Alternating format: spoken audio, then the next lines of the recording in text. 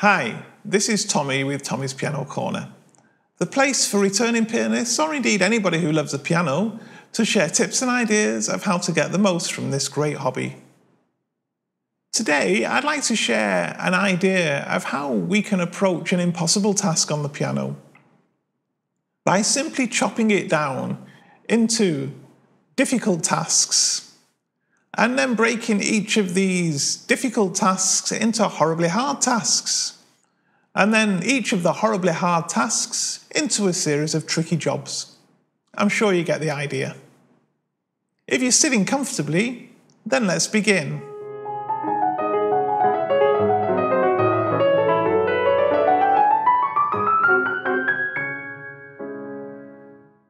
Before I go any further, I'd like to admit that this idea of impossible tasks and horribly hard tasks and tricky jobs came really from reading a book by Terry Pratchett.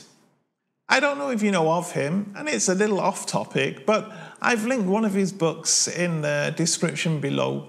It's a book that's got music central to its fantasy theme. It's called Soul Music.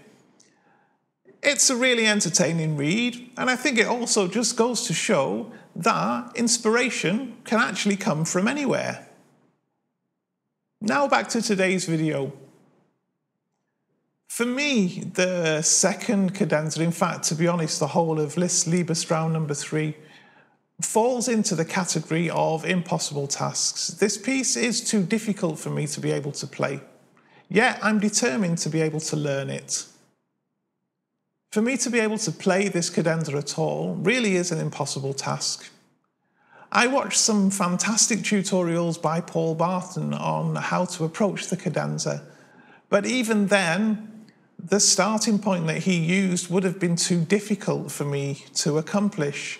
So I needed a way of breaking it down even further into things that I'd got a hope of being able to get reasonably under control that was when this idea of breaking something down from impossible to horribly hard to tricky came to me. And I started to think about how I could structure learning this cadenza in that way. My starting point for learning this cadenza was really using Paul Barton's advice. He effectively says that think about the first part of the cadenza as being a couple of descending chromatic scales in thirds. You have major thirds in your right hand and minor thirds in your left hand. I recommend you do watch his tutorials on this if you're intending to tackle this piece yourself. I found them really, really useful. Even with Paul's advice, though, I wouldn't have been able to really just start from this point, so I needed to start from a different, a tricky job type approach. I decided that my first tricky job would be to simply learn the fingering. Paul very kindly provides the fingering that he uses through his Facebook page, so I downloaded this as my starting point. And then slowly, patiently, I started working through the fingering to try and work out what would be good for me. And pretty much retained everything that he had, aside that I opted to use 5 and 1 for the B natural and D natural, in the same way that 5 and 1 are used for the E natural and G natural in the left hand. All in all, it took me two hours' work spread over about 12 days before I could even reliably remember the fingering. The next horribly hard task I set myself was to try to get the cadenza hands separately up to 100 beats per minute, as Paul had suggested. To do this, as you've probably guessed, I decided to split this down into another set of tricky jobs. The first tricky job I opted for was to actually start to play it in groups of two. So, predominantly focusing on changing your fingers within each group without worrying about joining each group of two together.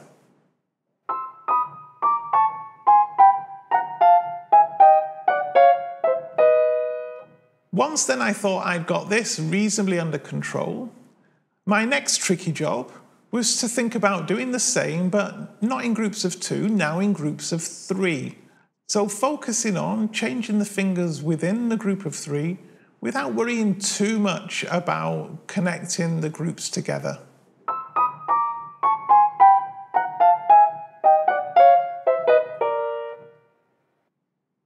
I'd practice like this for just one octave, but then what I do is I do another octave and start the group of three from one half step down.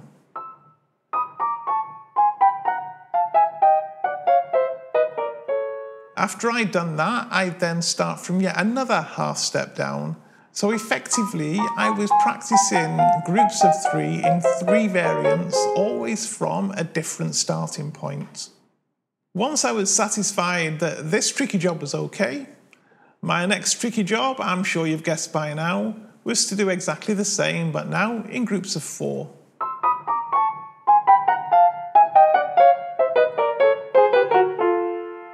And then again, I'd do the same thing. For each group of four, I'd repeat a next octave, but starting from one half step down from the previous starting point.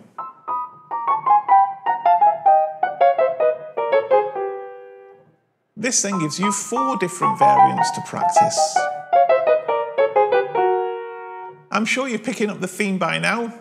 What I then did in terms of tricky jobs was move on to groups of five, then on to groups of six, and then on to groups of seven. Only once I could actually do this did I start then thinking about playing it for two octaves rather than just one. This process just in itself took me something like eight hours spread over six or so weeks. Once I'd got to the point of being able to reasonably control two octaves of double thirds at 100 beats per minute, I decided it would then be time to move on to the next difficult task. Of course, the next difficult task is to start actually playing it in separate notes as written rather than in double thirds.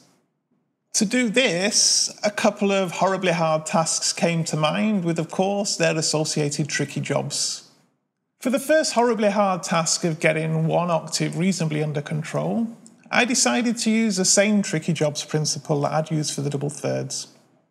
So, first, I started by playing it in pairs.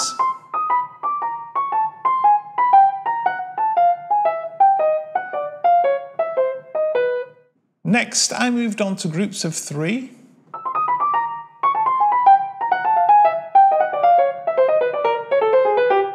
Of course, moving down one half step for each group of three when repeating an octave. So I'd have three variants.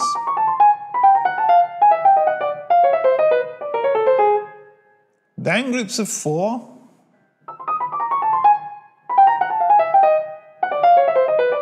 then groups of five, then groups of six, and then groups of seven. My next horribly hard task here was then, of course, to try and get two octaves under control doing this. So to do this, my first tricky job was to use what I call sort of a lilting rhythm. So it's basically a dotted type rhythm when you do that. And I do both variants for two octaves, so that's dot on the first note or dot on the second.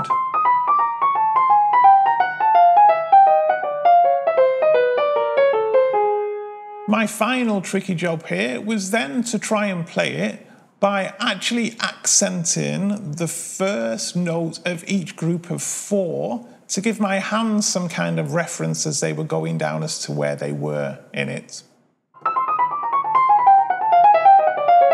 These two difficult tasks with their associated tricky jobs took me something like 20 hours, spread over around four months of very, very patient work.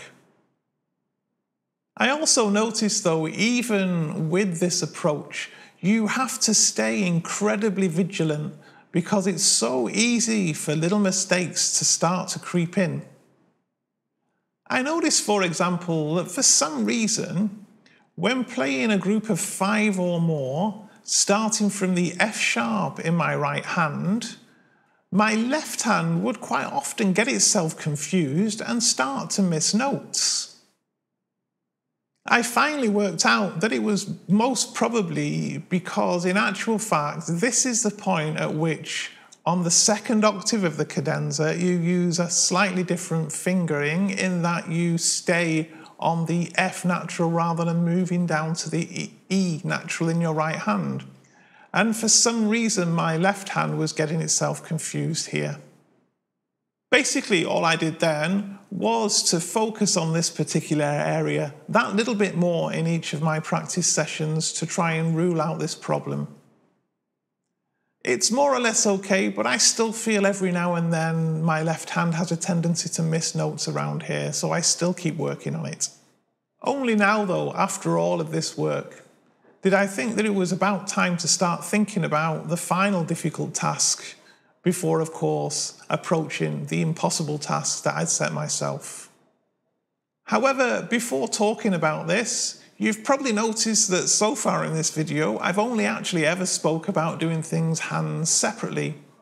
And of course, hands separate practice is vital. However, on its own, hands separate practice probably won't get you to the point that you need to be. What I actually did was once I had mastered one tricky job hands separately. When I moved on to the next tricky job, I then start to practice the first one hands together. So, for example, after I'd learned just the fingering hands separately, when I moved on to practicing the double thirds in pairs, I would then spend a couple of minutes each day just slowly playing through the fingering hands together. Of course, then when I was practicing in groups of three, hands separately, I would start to practice in groups of two, hands together.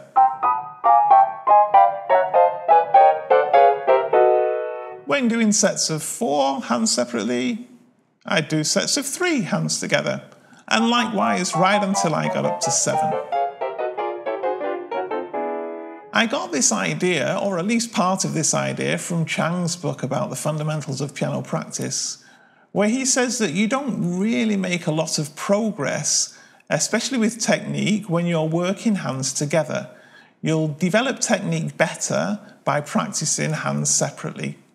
So I always try to practice with hands separately until that's under control before doing something hands together. This has seemed to work quite well. And now for the almost final stage. My last horribly hard task is to get used to playing two octaves of this double third scale passage in the cadenza. And I've split that into two tricky jobs, as you might have guessed. The first is to simply play one octave hands together.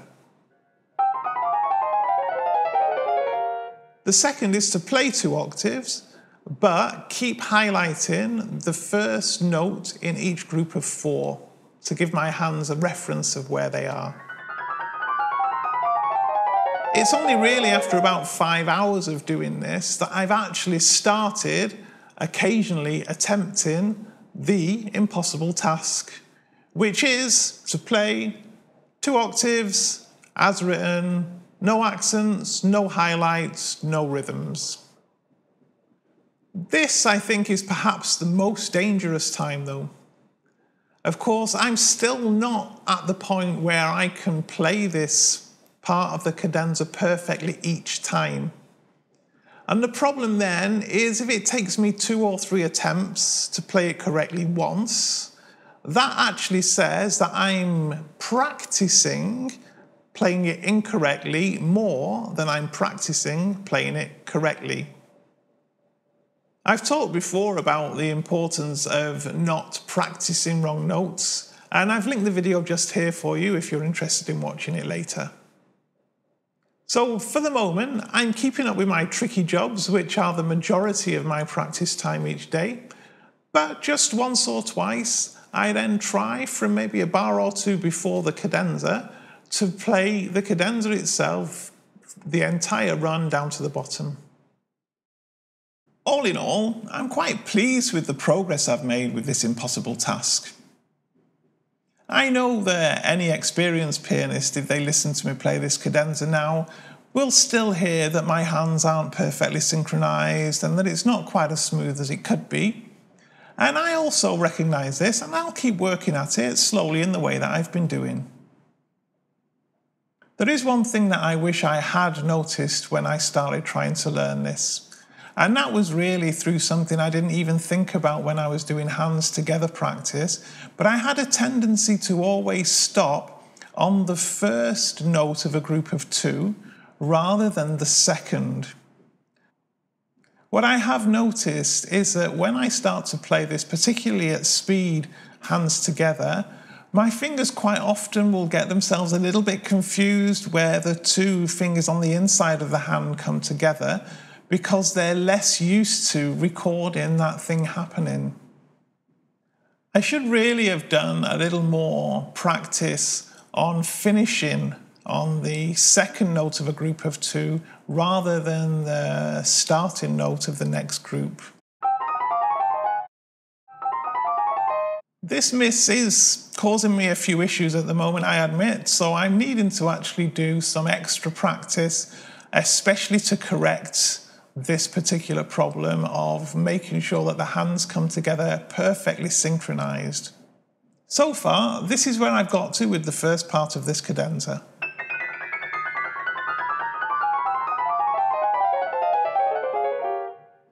I hope you found this video interesting and it's given you some ideas about how you might break your impossible tasks down into something that's more like some more manageable, tricky jobs. Do let me know in the comments below how you get on, I'd be interested to hear. If you're not already, then please remember to subscribe to Tommy's Piano Corner. Click on the little notification bell so that you get notified of all new videos as they're released. I thank you very much for watching, and I will see you next week.